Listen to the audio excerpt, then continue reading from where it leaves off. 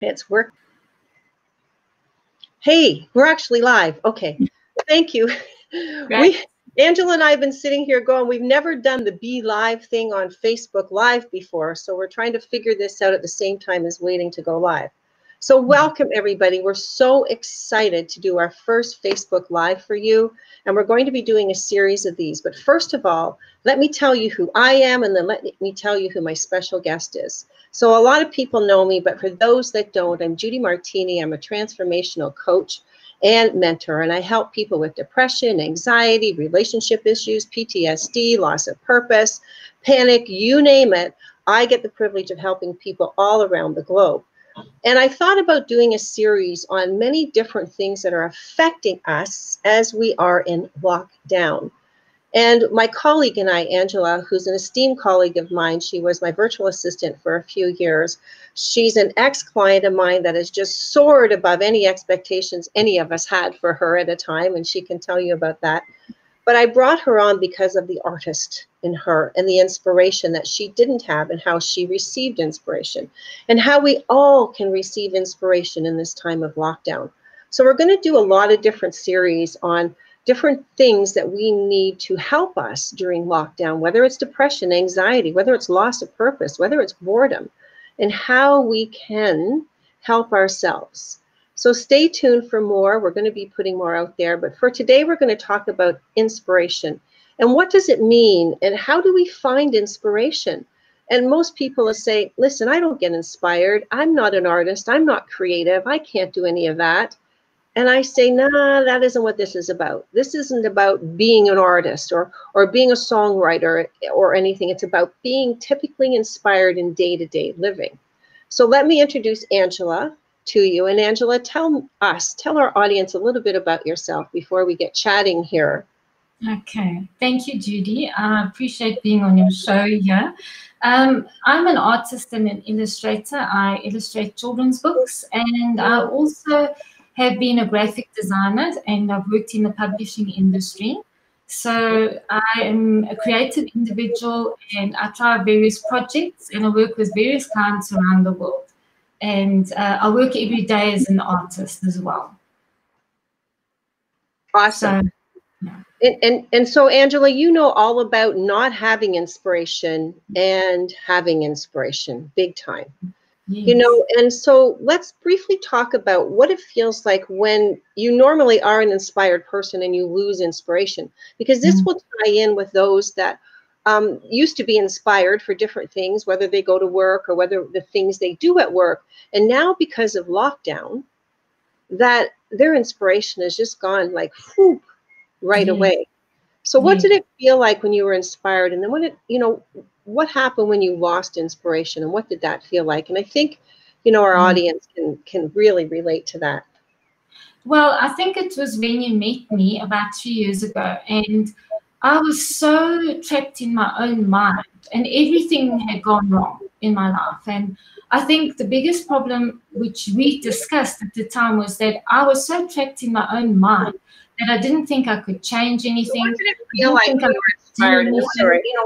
So sorry. So that that was where I was at, and I actually was so stuck that I thought my life was over. I couldn't do anything.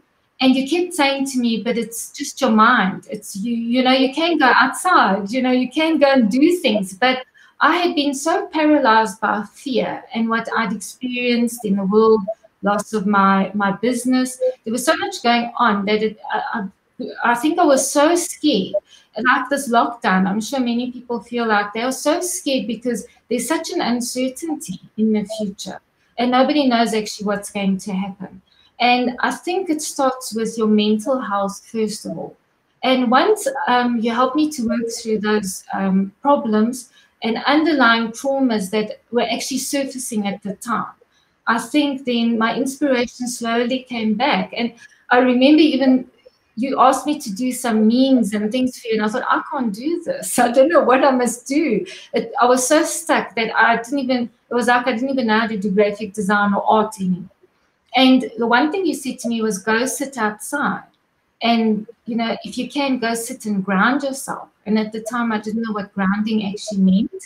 And, um, and once I started doing that, I actually started connecting with myself again. And I think when all the mental blocks started falling away, because I had so many mental blocks, and I think anxiety and stress, depression, all of those things create blocks. And then as an artist, you can't freely express yourself. And so once I worked through all those mental blocks with you, uh, my, my art actually came back.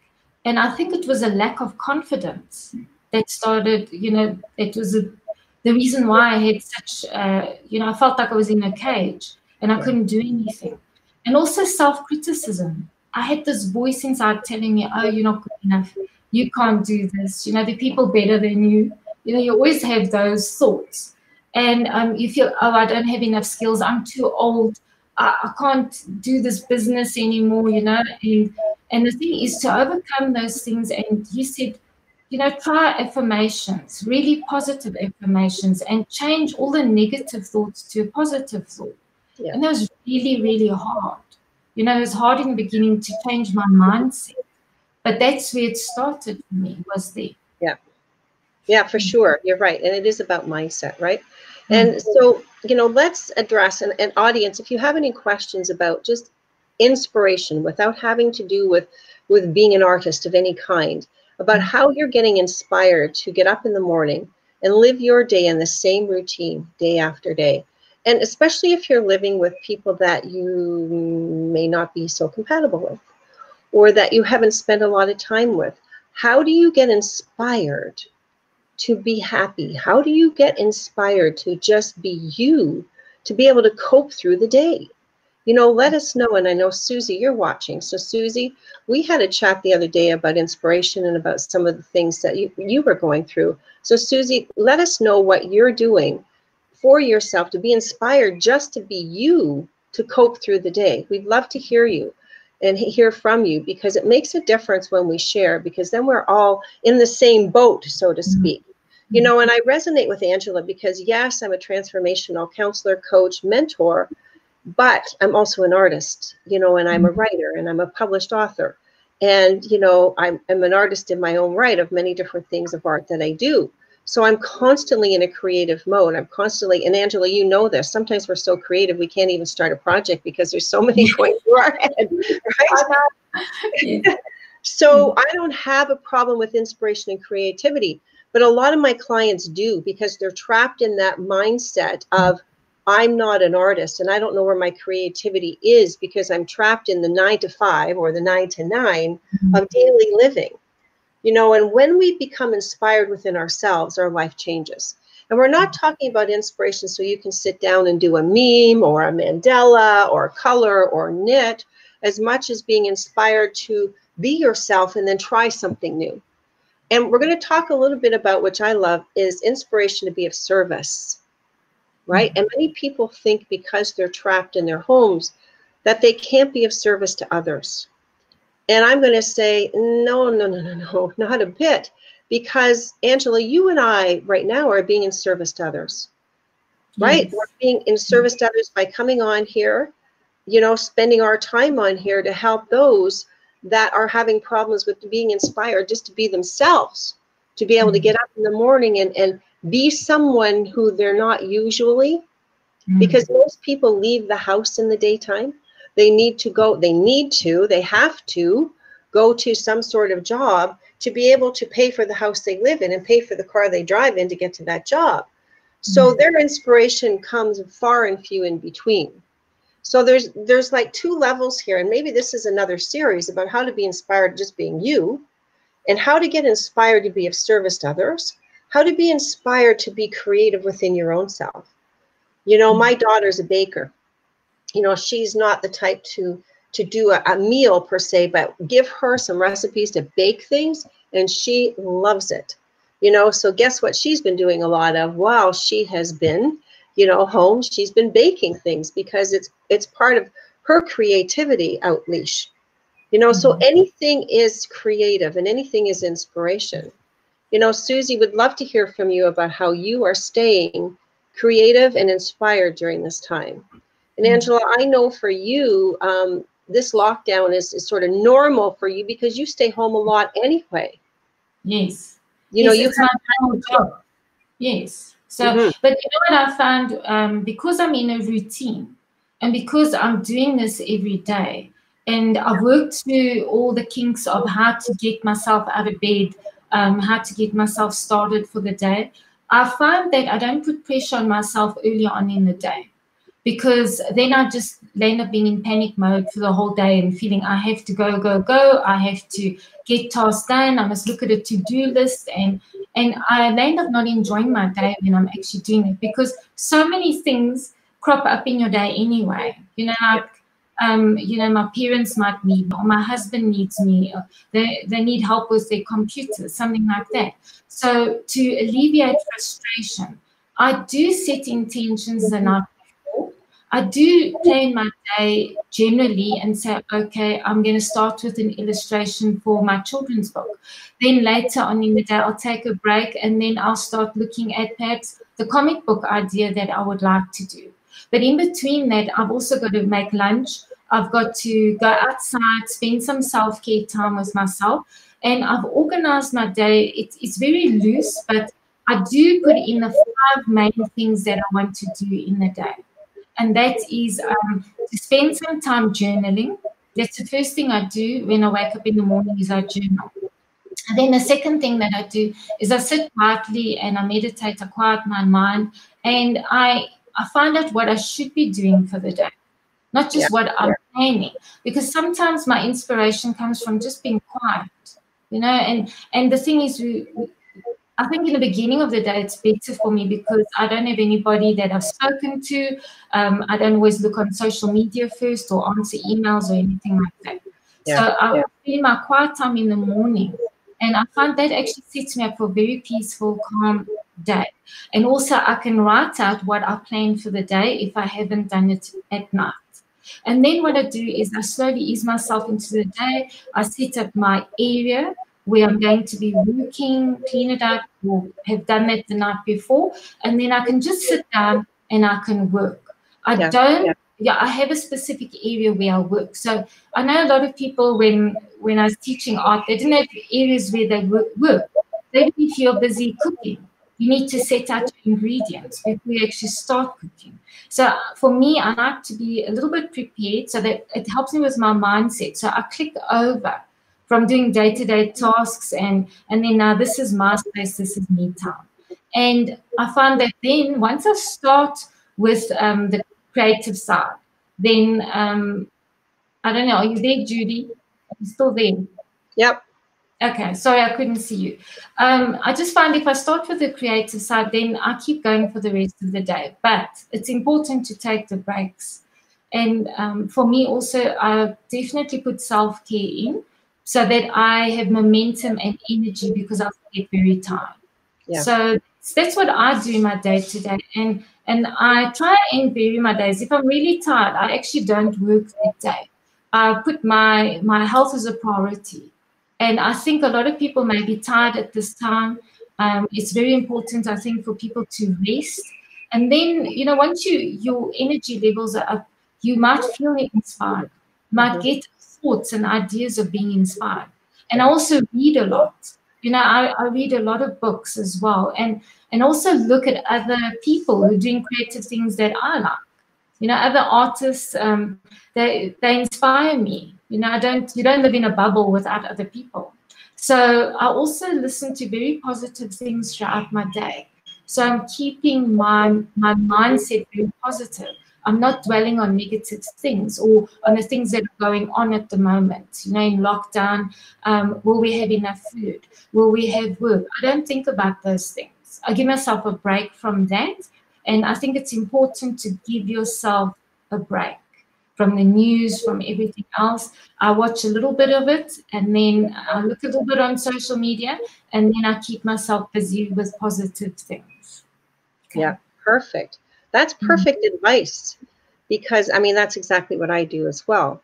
But mm-hmm. we've been practicing this method for quite a few years. We've, we've mm-hmm. adapted this method, but for the average person, they don't know how. And I think routines are helpful to a point until they become a must Yes. You know, because then we we don't break out of a routine and we're starting to be an autopilot. So there's mm-hmm. a fine balance there of what is my routine and what can I let go of and flow into? Because mm-hmm. when, and you know this as well, when divine inspiration comes, it comes in a flood and it's like, oh, and you can't say, okay, I'm going to put it over here. And when I'm done in three hours, I'm going to come back to it. You know, that means I'm either writing it down or I'm going to it or I'm opening it up or I'm starting it or something. Yes. You know, there's a difference between that divine inspiration and being in that routine. You know, how flexible and are you to let mm. go of that routine that you started that's working and yes. able to go in divine inspiration and we're going to talk maybe we'll we'll do that about an, a, another topic about what is divine inspiration and how do i yes. tap into that you know mm. because inspiration is is so different for people and, and i think i said this at the beginning of the show that inspiration isn't inspired to write a song or do an artwork inspiration is to make a call to somebody that needs you to be heard right that needs to be heard you know mm-hmm. whether it's to a parent a friend a neighbor inspiration may come in oh i've made some extra food and i know my neighbor's a senior i'm going to drop it off on their porch mm-hmm. you know and inspiration will come in those moments when we can be of service to others. And then let's talk about in service to ourselves. So inspiration comes when, okay, so here's my routine. I have to do this and I have to do the dishes and I'm going to do some stretching and then I'm going to journal. But man, I feel like I need a bath. I need a hot bath with Epsom salts or essential oils. And all of a sudden you're going to go, no, I can't do that yet because I have to work out first or I have to do my mm. stretching first. Meanwhile, you were given that information because in that hot bath you're doing is more inspiration coming through and an opportunity for extreme self-care and you know mm-hmm. when i did that whole group um, last year on extreme self-care we went from what is self-care to what is absolutely necessary for self-care which is every single day during the day is nothing but self-care and i know you've adapted that into your life you know, because we looked at what is self-care what does that look like and what does that mean? You know, how, how do I do this? And at first it's a struggle for people because yes. inspiration comes in ways of self-care as mm. well. So you're going to get a hit to, to have a nap and people will go, well, I can't have a nap. yes, I remember that. You used to say, I used to say, I'm tired. You said, just go have a nap. I said, it's the middle of the day. I've got work to do. And you said, go have a nap. I know. and, I, and, I was, and initially, because I came from a corporate background, you know, you don't have the, the leisure, you know, nobody can just go and have a nap when you want to. So I was in that go, go, go mode, and you force yourself to do everything. And when we met and we started working through everything, and you taught me to do a lot of self care, I actually didn't know what the meaning of self care was. And I never put it in my day. I was actually realized how much I'd been neglecting myself uh, physically, emotionally, mentally, everything. And I had always put myself on the back burner, put everybody else, you know, first. And then you can oh, say, oh, the people pleasing syndrome thing. Oh, yes. anyway, that's a whole other show yes. And then, but you know, my inspiration, some of the things that uh, I manifested or happened to me was when I was just sitting quietly, having a foot spa, taking my time, you know, actually really enjoying my day and, and just sitting quietly and re energizing myself. And I tell you, a lot of um, ideas suddenly flooded in because you relax. You're not actually forcing anything. And you taught me to go with the flow, live moment by moment. And in our type of society, we don't live like that. Every single minute is virtually, you know, counted for. So to start living um, as as a dot, as Phil Good says, live as a dot, and as you told me, go with the flow. Um, I, it was foreign to me, and now that I'm learning to do that, I see why it's because life is ever minute by minute, life has changed, you know, moment by and you look at there's something new. There's something totally new.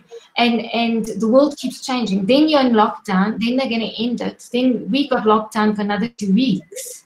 And everybody's saying, Where's the food gonna come from? Where what are we gonna do with our businesses closing? So there is is a lot going on. And I've found by actually just living moment to moment now I actually find I can control the fear.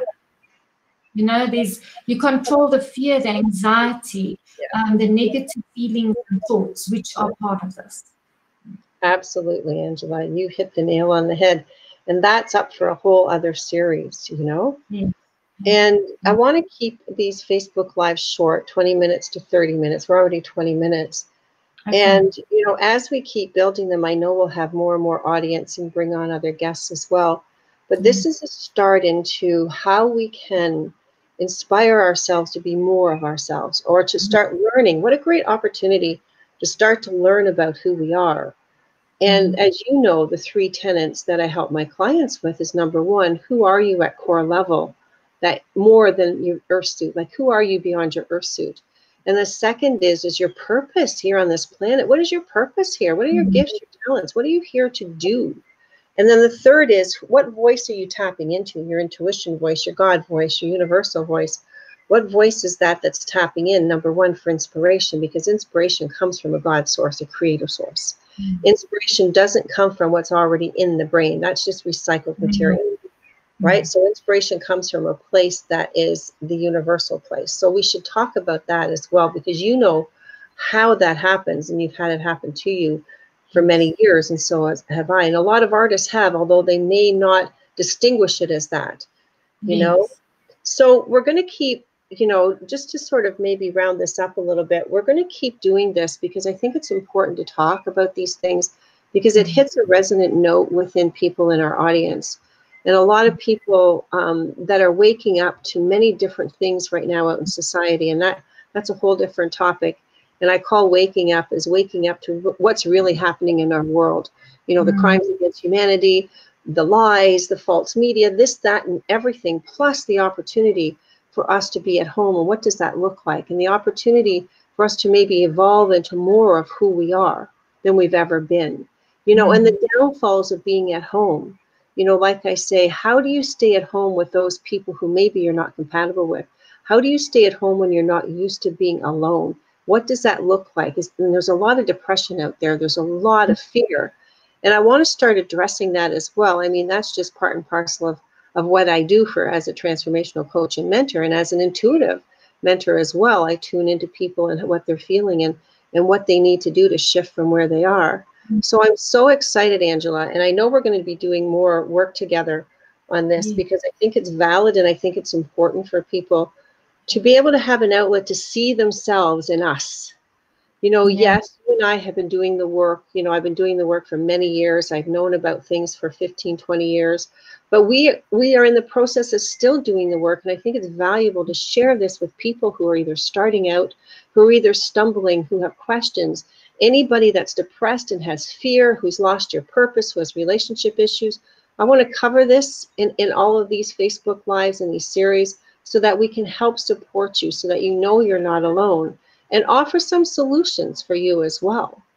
You know, mm-hmm. and Angela, you know, as we wind this up, let's talk about briefly about what you're doing on YouTube to help inspire those that want to play around with some art. Well, you know, a while ago, I thought I've always wanted to teach people art. And I always loved art therapy as well and helping people to express themselves because I think art is not just about creating something that is beautiful that you put on a wall. I actually think a lot of the time the art is therapeutic for yourself as well. And it's a it's a visual expression instead of a verbal expression. Some people like to write i like to write and i hmm. like to do visual you know visual art and that kind of thing to express myself. And actually found that I, I found a space of healing when i actually do art. So you know i think that i encourage people on youtube. I've got my own youtube channel and i'm busy showing people how i draw and paint. And I'm going to also be developing courses where I want to teach people the techniques of painting so that when they want to express themselves, um, they know how to do that. And my biggest aim is to for people to tap into their own source of imagination and learn how to paint from that source, not from references. And you know, we can all paint from references, but I think I think a lot of us need to um, heal, and we need to you know look look at those wounds from the inner child and we need to heal from that. And I think art is a way to do that. And that's what I'd like to teach people eventually. For sure. And once we learn, this is our first Be Live, this new app that I have, learn how to put our links in here. We will. Um, and we will put them in the comments. We'll have them streaming on here. We will have links available as I practice this and, and learn more about this. And like, I don't even know who's on here. I don't see comments yet. So, you know, sorry for that, guys. If you're commenting, I can't see, I can't hear you. It's, I think it says there's six people on here, but not sure. You know, I don't see any comments. So, you know, please forgive us um, right now as we play with this. And if you have any ideas that you want me to discuss and bring on certain guests, I will. Last night on Instagram, I um, was part of Emmanuel Daughter's um, live stream, and he had on Mike. And Mike is an, an all time incredible tarot card reader. And he pulled a card for me that was so dead on that I knew I had to have him as a guest. So, wouldn't that be fun if I brought him on? and we chatted and he pulled cards for you because he's been doing this successfully for years.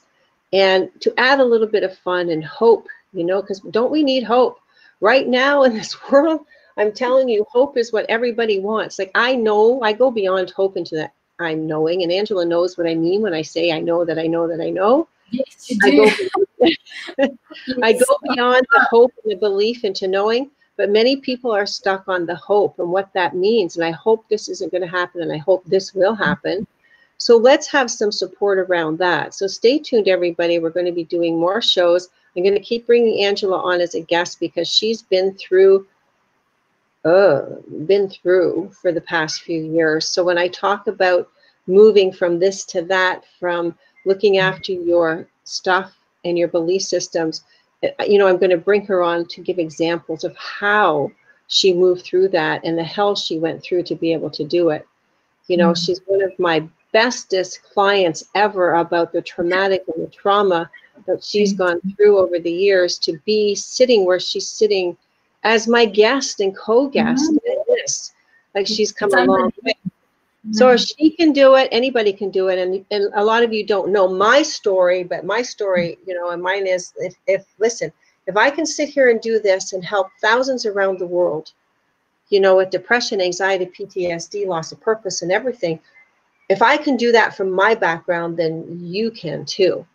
So we're going to leave you with hope and inspiration for, you know, a better day today. Hopefully we have helped you in some way, please let us know if we have serviced you in some way, if this is what has been able to help and motivate you, and what topics you would like us to see in the future. And on that note, look at that, Angela. We're almost at 30 minutes, exactly what my goal wow. was. That's fantastic. So, and I don't know how to stop this, but I'm going to try. So, Angela, thank you from the bottom of my heart. I love you so much. You are so awesome. Awesome and you're inspirational to me. So you know thank we you. Were, you've so much yeah. And you've taught me a lot and that's why i'm i'm glad to be part of this because um you know i can show people what you've actually taught me and how it's actually helped me in my life because it's changed my life around and i never thought that i'd ever be able to be at this stage of my life so thank you for helping me and being patient you know and my my pleasure my pleasure. I look forward to our sessions and everything else in between. It was the joy of my life. Thank so you. I send you much love. I send everybody love. There is hope for a wonderful future unfolding, guys. So we'll see you here in a couple of days. Look on my Facebook page. I will constantly be putting announcements and notices up about what's coming next. And if you want to be a guest on my show and you want or know somebody that should be a guest on my show, please message me and we'll do it. So, again, have an awesome day. Get inspired about being you guys because there is no one like you in this world. You are unique. You are here for a purpose. And it's beyond changing diapers and cooking food and doing laundry, guys. That's that is so old passe that there's a new way of being coming in. And if I can help show you, then look at that. You've got more than hope for the future. You've got a desire and a purpose to be here. So again, thanks everybody. Bye for now, everybody. Thanks again, Angela. Okay. Bye. Keep well.